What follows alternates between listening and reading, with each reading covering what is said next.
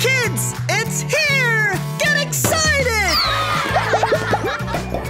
it's book fair time! The Scholastic Book Fair is here!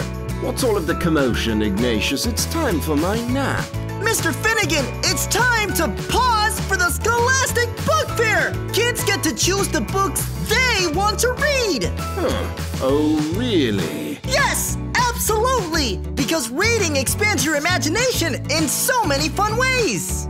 Reading increases your brain power and makes you smarter because it introduces you to new places, people, characters, and stories! Wow. Books are amazing. Reading is fun. Everyone must come to the book fair. Kids, tell everyone you know! The